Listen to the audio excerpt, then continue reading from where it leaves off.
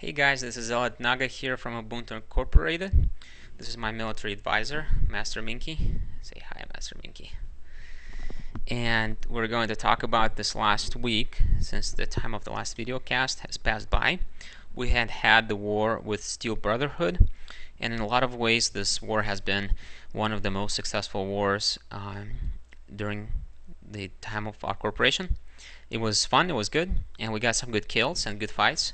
So uh, we'll walk through that and then also talk about the future in this next uh, several coming weeks. You know, um, first of all, the war started out with us sieging a um, uh, an industrial corporation that's maybe affiliated with Steel Brotherhood, maybe not, and we sieged it, and uh, then it joined the Steel Brotherhood in the middle of um, us killing it and they dropped a fleet on us in which we lost two scimitars. One uh, got tackled by um, the station, and another one was trying to save that one. We were able to get um, money back for the lost scimitar because it died according to an exploit. Because our enemies, uh, one of them was on grid when the fight happened, and they actually shot at the scimitar, and uh, CCP considers that an exploit. Uh, so now we know for sure because we got the ISK back, which they rarely do. And uh, you guys should know about this uh, in the future, so uh, this was good. And so the loss was um, uh, frustrating at first. We had to disengage from the station because they brought a 25-man fleet. We probably could have taken them on, but we were heavily ECM from the station and uh, we were a little bit disorganized. There was some miscommunication at the time when they engaged us because we thought they were not going to, since we killed most of the guns, and we had to retreat. They decided not to fight us.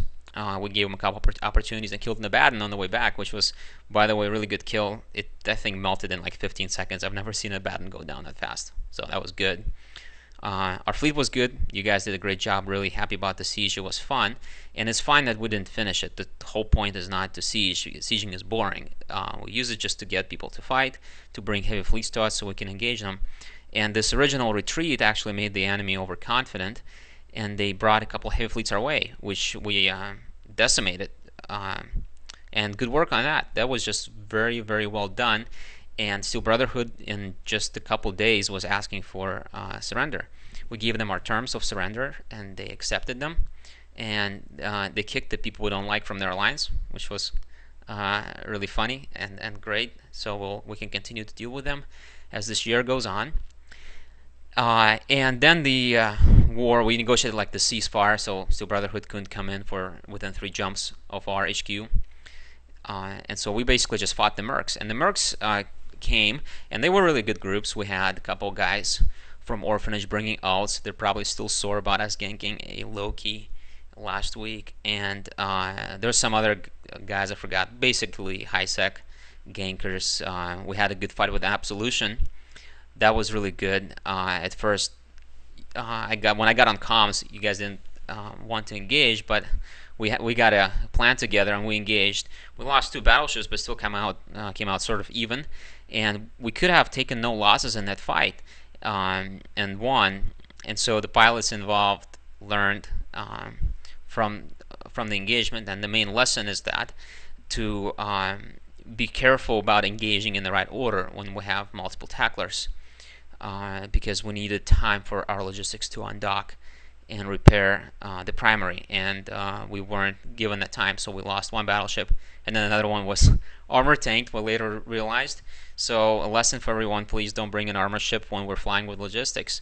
It's really important. Uh, it's because it's expensive to lose an armor ship when logistics can, cannot keep it alive. So um, good lessons. Learn from them, and I'm just really happy with you guys. We had a sharp decrease in random losses. I think we only had two or three in this entire war.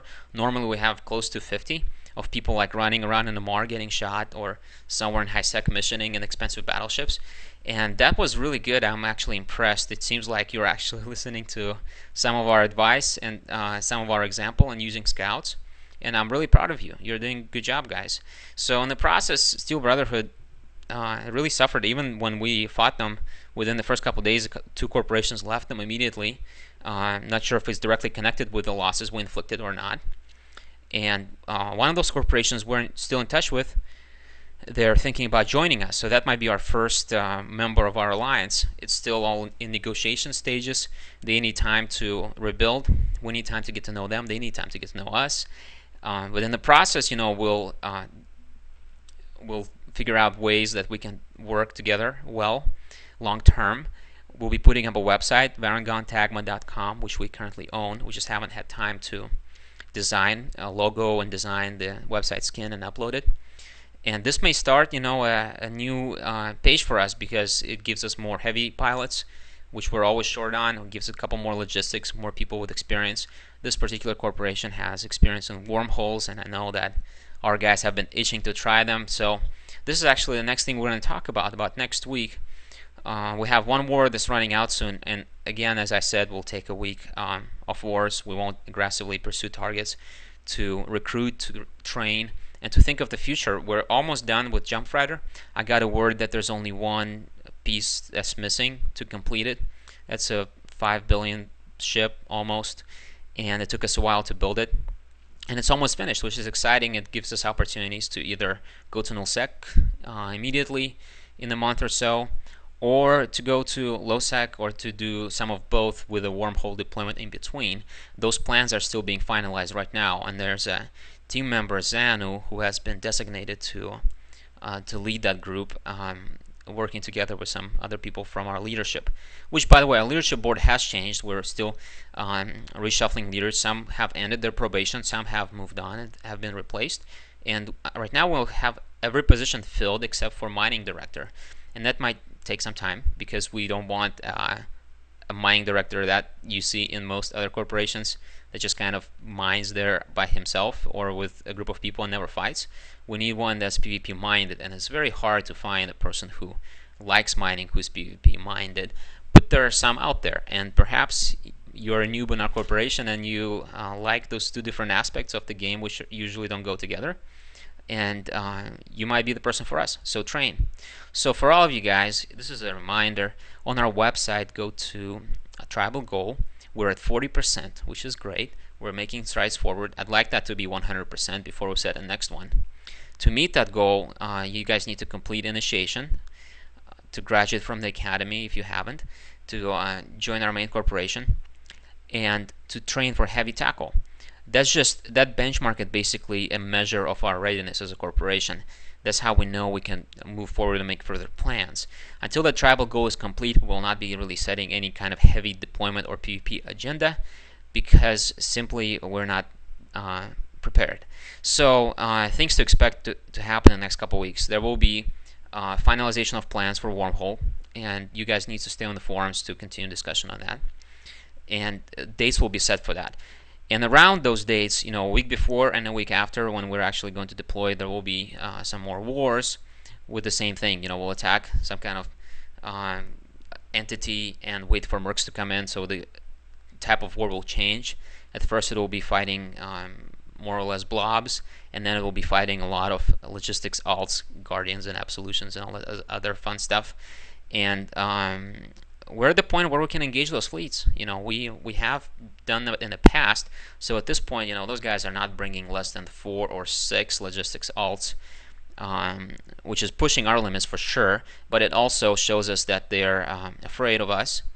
They're no longer camping our system as uh, it has been in the past, uh, or you know, there's a lot less uh, nano um, griefing and stuff like that. So, uh, and that's good. So keep it up, continue to train, increase your qualifications, teach other pilots. And when we have peace, please focus on recruitment. There's ways that you can help. Just ask on Mumble. If you guys haven't gotten our Mumble server, you should. It's uh, the only way to really move forward because that's where our sponsors for scholarships hang out. So that's all I have for you for today. Um, I'll, I'll be in touch. And uh, good luck. Fly safe. Uh, and train, train, train. Well, I'm training to Rokh, Drake, you know, the standard stuff, Scimitar. I'm just uh, calling those things out because uh, they've been proven very effective uh, this past week. And um, to sum it all up, you guys are awesome. So let's uh, continue to push forward together.